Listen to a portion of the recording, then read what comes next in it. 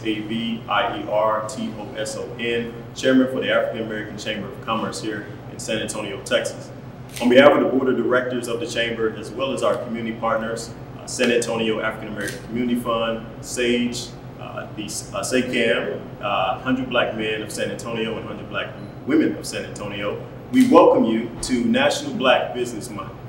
A little bit about Black Business Month. Uh, started by two businessmen, uh, historian and also an engineer. Uh, in 2004, uh, Black Business Month was started to support Black businesses uh, and also show their resilience and Black excellence in, in business.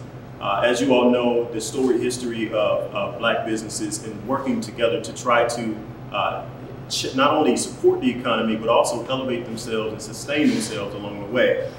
Also, uh, it's a way to push a policy agenda that affects African American businesses as well.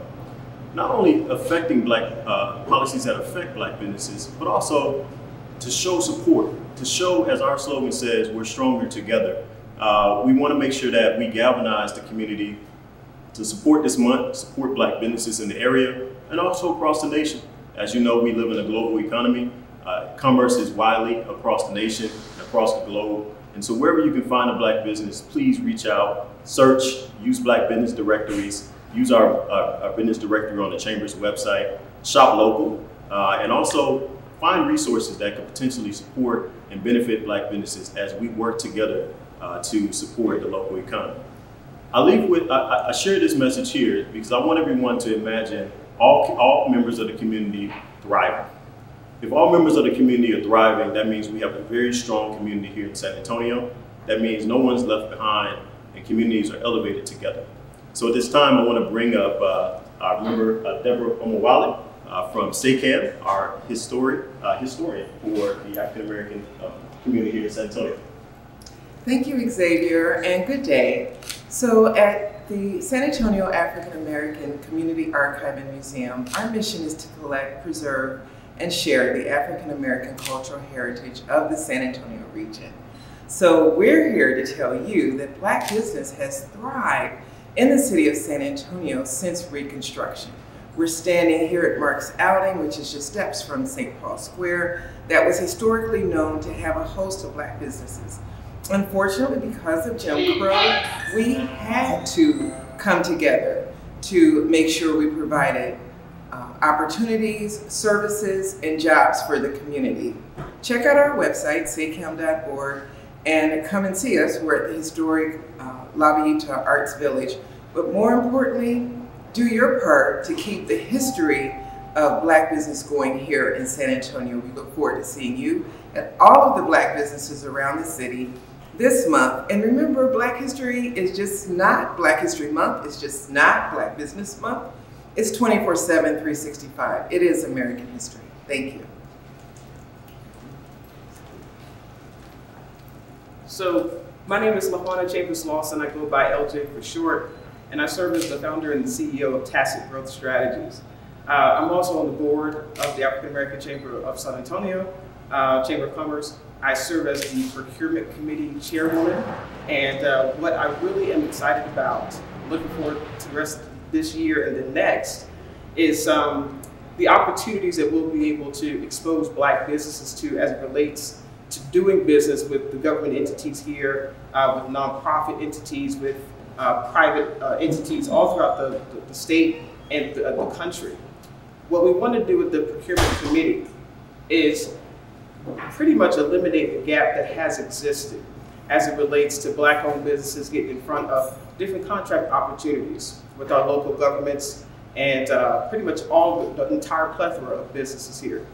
When you think about tacit growth strategies, for example, if you look at fiscal years 2015, I believe, to 2019, uh, only about 100 something thousand dollars worth of contracts were uh, awarded to black women-owned businesses who were in the professional services sector.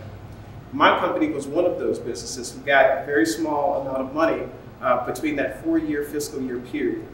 So if you think about that and think about how that impacts our black communities here, uh, it's, it's, it's, almost impossible for us to be thinking about uh, social justice, racial justice, uh, environmental justice, um, home ownership, uh, education, child care, health care, all the things that matter to us, all the things that uh, for any person provide us a foundation for a high quality uh, life.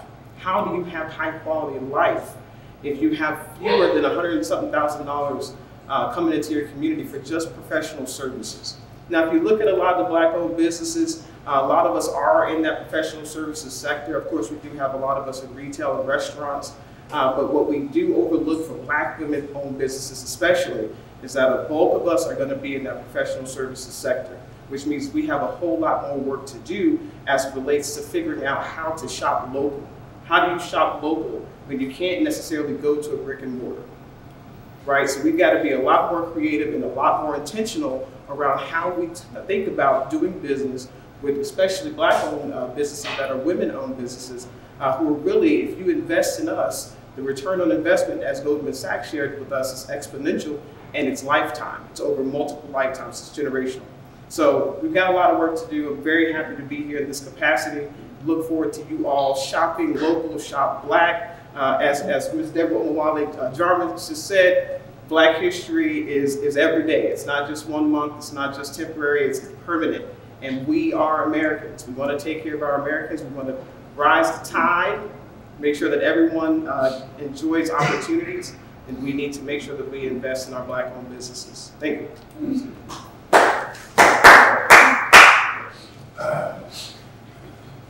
How you? My name is Mark Outing, and I'm, uh, I'm very excited to, to be a part of this. Uh, I'm a local uh, business owner, black-owned uh, restaurant, and I do agree that we need to uh, take this time of this month that we're recognizing uh, Black Business Month to be able to support those black businesses that's not only in the community but surrounding cities throughout our, our nation. And I agree with, with those that have spoken before that it's something that I think it's a sad state when we have to come together and just recognize one month. We are people just like any other people, and we do agree that uh, people should spend their monies with us. If we're providing a service that is uh, above standard service, that uh, money should be spent in, in black businesses just like other businesses. So what I would just encourage you guys to take this money and recognize that there are businesses out here, black-owned businesses, that the community should come out and support, and I think that it'll make the nation as a whole stronger. Once again, Mark out and I hope you guys come get yourself a big fat juicy burger. there you are. Great deal. And they are the best burgers in town, by the way. Um, next up, we'll have Ms. Renee Watson uh, from the African American uh, Business uh, uh Enterprise over at Bexar County. Hey, Ms. Renee. Good morning. Thank you. Good to see everybody. Today is a special day for us on behalf of the Commissioners Court, Judge Wolff, and all of our commissioners. We are very actively supporting black-owned businesses. This month, the national, being National Black Business Month in August, we're encouraging all citizens to go out and support African American owned businesses. If you need to find one, of course, go to the African American Chamber of Commerce, but you can also go to the county's website at bexar.org forward slash SMWBE. We have an active directory of over 2,500 businesses listed, uh, and you can um, do what you can to support African American owned businesses throughout Bexar County, and we appreciate that. We're here for any questions, any support. Our phone number is 210 335 2478 if you need help with your business. Thank you. Last but not least, uh, I want to encourage everyone to go to AfricanAmericanChamberSA.org. As you'll see, we'll have upcoming webinars, uh, events, and resources provided to black-owned businesses here in the city. Uh, not only that, we will be uh, offering up micro grants to our chamber uh, members to support them. Uh, as you know, it's been a rough year and a half with COVID. A lot of businesses did not make it. A lot of businesses are struggling to sustain themselves at this time. And we want to give back to the community. We want to make sure that they have what they need, or at least what we can provide to them to help support and encourage them along the way. So we will be giving away micro grants, as well as some upcoming events. Uh, uh, depending on how things shape up with COVID and the Delta variant, uh, we will have an in-person uh, event coming up towards the end of this month. Uh, but we're staying vigilant. So we want everybody to stay encouraged, support Black uh, Business Month, not only this month, but also support black businesses throughout uh, throughout the year uh, and around the years to come. So thank you so much for your support. Thank you all for being here today. and any questions? Tell me a little bit about the grants. Um, how do people apply? How do, I mean, how is it going to work out for both those interested? Yep. So, so we put together a criteria. Uh, we want to make it super simple. So, uh, just to kind of highlight, right now to join the chamber, uh, if you have between one and five employees, there's only it's only seventy five dollars a year. So we're making it super afford- affordable for folks to join the chamber. But not only uh, is it is it for uh, black businesses that are part of the chamber, but also those who uh, meet the criteria. We want them to be a certified black-owned businesses with the county. Uh, we want them to have the, the right business structure. Uh, we want them to be, uh, you know, we want them to have basically the, the foundational uh, aspects of a business, and then we will offer up those grants to those selected businesses. Yes, sir. Uh, how many businesses in San Antonio could this end up helping? Well, you know, uh, according to uh, Ms. Renee, I think we have about 2,000 something odd businesses in the directory right now. Uh, So it's about twenty-seven hundred, but there's about forty-five hundred countywide, according to the US Census. So there's there 4,500 uh, uh, around the county. However, uh, we don't have that much money to go around, so we have a, a small allocation that we that we were provided uh, during the CARES Act grant uh, that we want to give back out into the community. So just a select few uh, that we will work through and make sure that they fit that criteria and make sure we, we offer up those grants to them. All right, thank you all so much for being here. Have a great rest of the day. Stay safe.